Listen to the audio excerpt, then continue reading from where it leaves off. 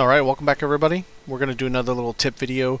Uh, this one is, this is opinion, it's my opinion.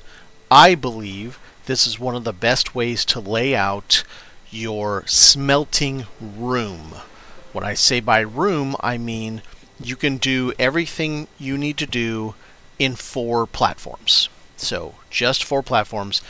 These don't have to be walls. I just made them walls, or sorry, windows do whatever you want. I didn't mean put a roof on this.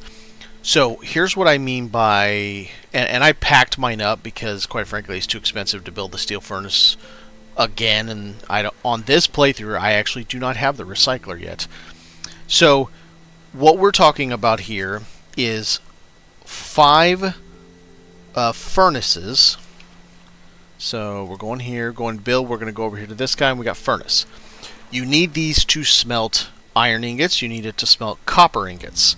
So five of those, the reason for five, is one steel furnace processes five material at once to make one single steel ingot. Looks like a plate, to be honest, but we'll, we'll call it steel. Um, and it works out really well that way. Now, this is going to give you everything you need for the whole process in one small 4x4 room. So this is five wooden boxes. You're going to make five of these. You're going to make one metal barrel, one wooden shelving, one steel furnace, and five furnaces.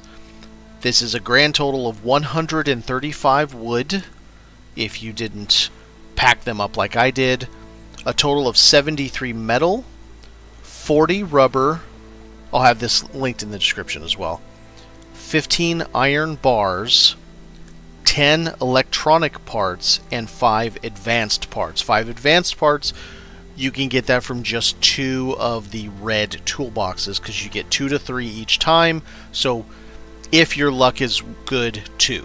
So we're going to start with the furnaces now. Instead of, you know, this normally that's how I did when I first did it. We're not going to do it that way. We're going to do it this way.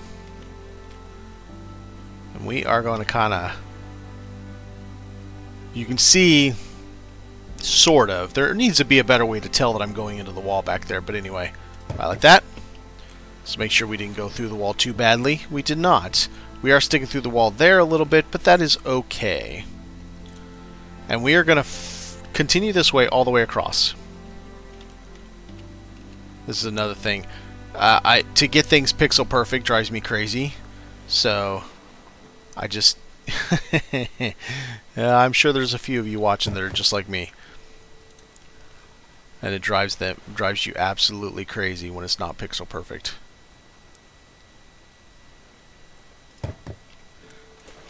And you can fit five here. You'll have just a tiny bit of room left over. Oh, come on, get in there straight. There we go. And 5. So that last little bit of space, uh, it can be whatever you feel like. There's not a lot you can fit in there. But now, so we've got all that, and so now we can stand right here, and I can access every single one of these in one spot without moving. So now, we are going to craft the boxes. Now, you can do it this way, and it goes in a decent amount and it does separate them a little bit better. When you do them the the way that it spawns it's going to be uh, end to end. If you don't like it that way don't do that.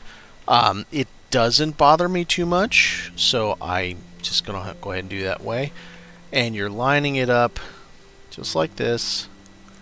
I'm gonna move until it starts moving up then bring it back down. And I'm gonna keep doing that all the way across Line it up with the two feet coming down. And bam.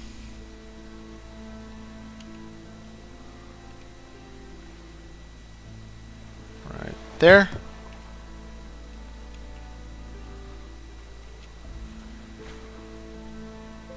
There, and one more. And I'll go back onto my other platform to show you exactly why this, because I didn't have the space to bring all the materials to show you what goes in here. So, you have a chest for each one. Well, not really. The way I set it up is the first chest is iron ore, copper ore, iron ingots, copper ingots, steel. So now we need to make one metal barrel. This metal barrel, I usually kind of put it right close to the door. The reason being, I don't know how many of you played for a little while. It's a pain in the butt when you're trying to grab something and you click the wrong thing. It just, it's really a pain in the butt.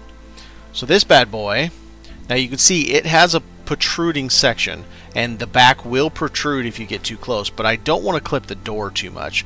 So I usually kind of, kind of like that and it's going to stick out a little bit. So you got this little pipe back here.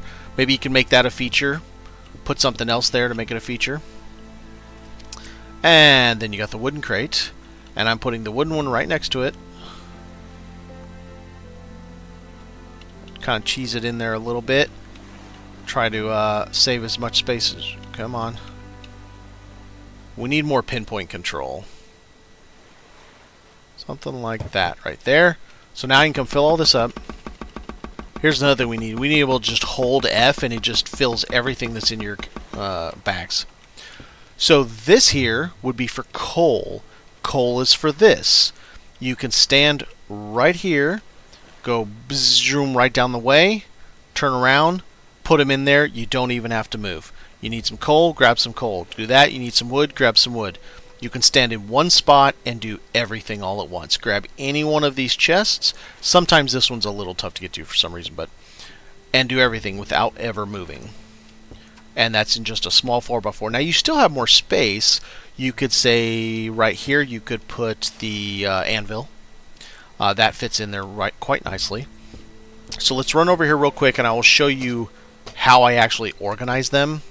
I just stole my equipment for, from over here so that I didn't have to sit and remake it. It'd be, be a bit longer of a video if I sat and remade them, every one of them. So, I don't have any iron at the moment. There's your copper, iron bars, copper bars, steel. See how it looks like a plate? So, charcoal there, wood there, everything within, I usually put the lantern directly above and in front of the center one. So I have full light, full access to do everything in one rotation. If this helps, I, I, I hope you'll uh, consider watching again. Thanks for watching, everybody.